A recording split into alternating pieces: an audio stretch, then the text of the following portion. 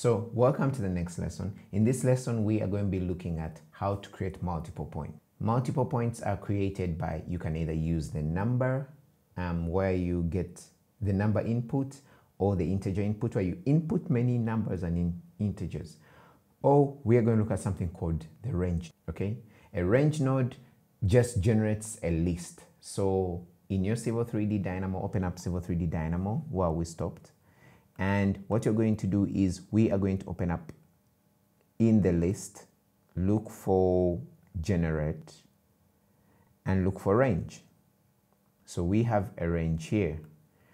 And what we are going to do is we are going to generate a range. Okay, so I'm going to just take this off a bit.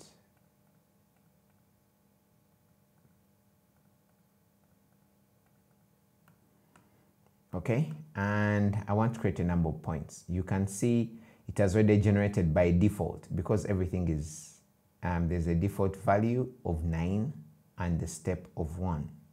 So by default, it's the start is 0, the end is 9, and the step is 1. That's why it's generating numbers 0, 1, 2, 3, 4, 5, 6, 7, 8, 9.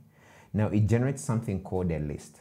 Lists are very important. They normally have um, um, an index and the number. So the 0 you're seeing here is the index, okay?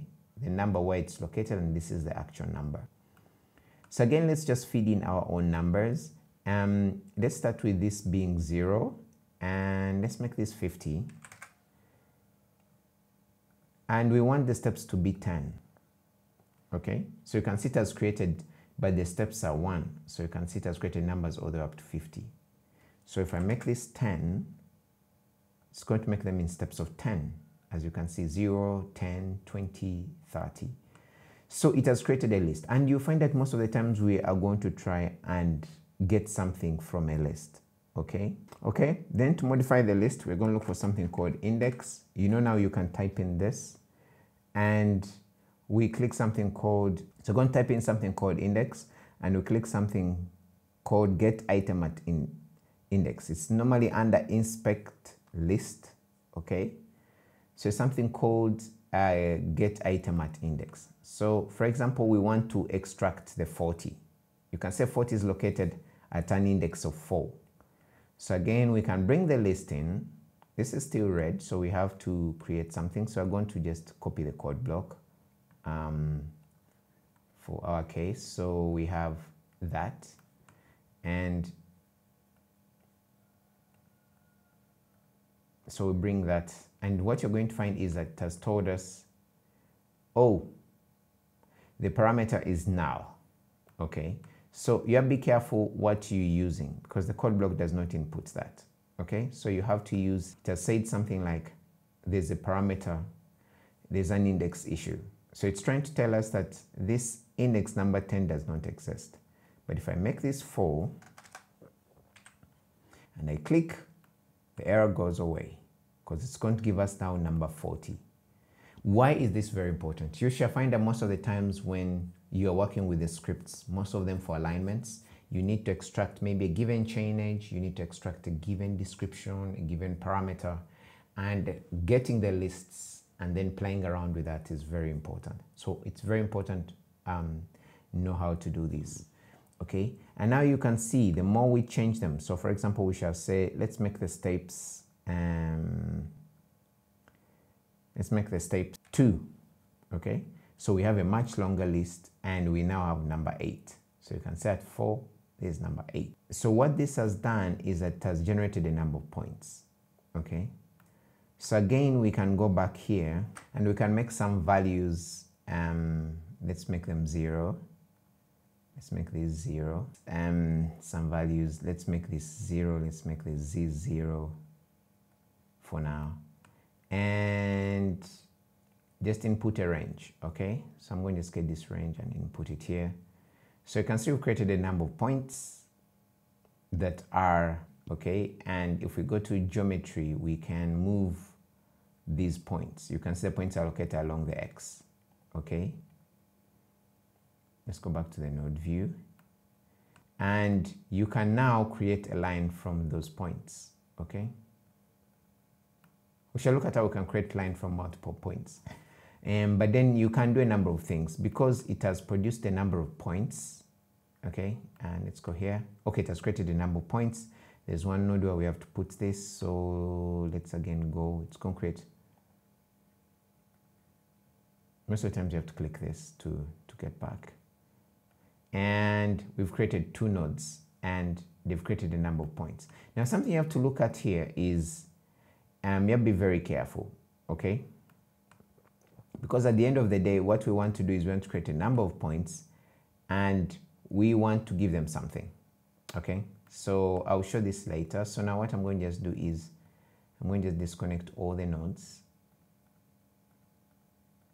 And what we're going to look at is um, just creating a number of points. So uh, the others are going to be default by zero. So I'm going to just move this here and disconnect the list.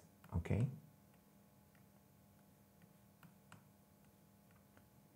So again, if you look, we've created uh, points with, with a varying x, but the y and z is very different. Okay. So we could create something very important with this. Um,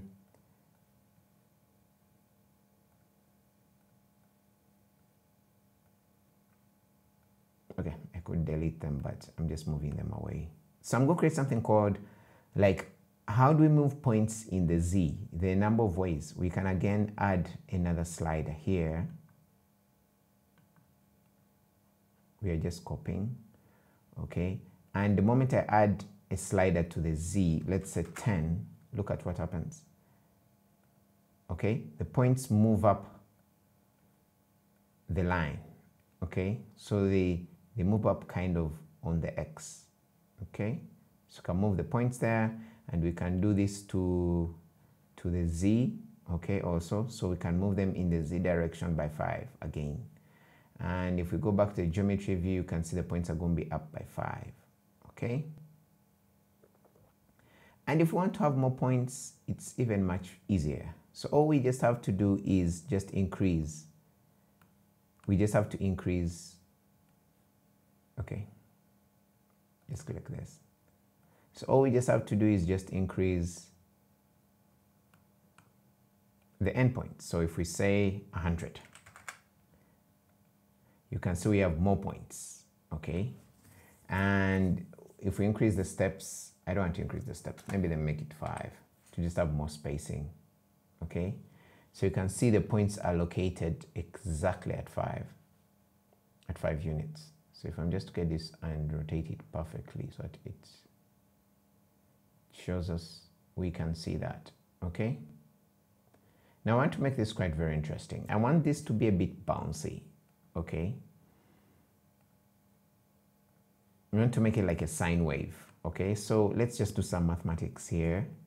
And before we generate the list, let's do something very interesting, okay? So we're going to get something called maths and functions. Um, this is very important because when you just want to create something called a sine wave and this just shows you how you can control and move other things. So let's look for the math function. So there's the sine function. Okay, so what we're going to do is sine requires an angle. So I'm going to just maybe change this to angles from zero to something like 360, requires maximum angles. And let's go through degrees of 10. Okay, so we have 0 up to 360. Okay, and what you're going to do is we're going to just create this and it's going to generate angle sine for the different angles. Okay, and this is going to be amplitude. So we can still make this the x. Okay, and we make this the y. Okay. So it's creating something, but it's not so pronounced, okay? So let's go to the geometry view and let's do a fit because I want to see all the points, which is good. Okay, now go back to the node view. And I, I want to kind of amplify this, okay? So for now let me just remove the z. It doesn't do much. So i'm going to just introduce a multiply node um, just to multiply this um, okay? So this is the multiply node. And I just want to get this number that I get and I multiply it by something okay? So we get the y and let's get this there and let's use something like 5 okay? So if I increase this you can see it starting to create our our our kind of sine curve okay? Because I'm raising the amplitude okay? So let me make this integer slider. Let me increase the steps to 300 okay to make the line longer. So you can see the more I do this the more I have a much more pronounced curve okay? And this creates for something very interesting scenarios. Again um, you can increase the steps to create the points. You can do a number of things okay? So what we have done is we've created a number of points using a range. And from that range we've played around with its amplitude and z because at first the points were straight and now we've made it kind of like a, a wave. And now we're going to look at in the next lesson can we do this also in a code block and join it together so that all this is in one code block? So i hope to see you in the next lesson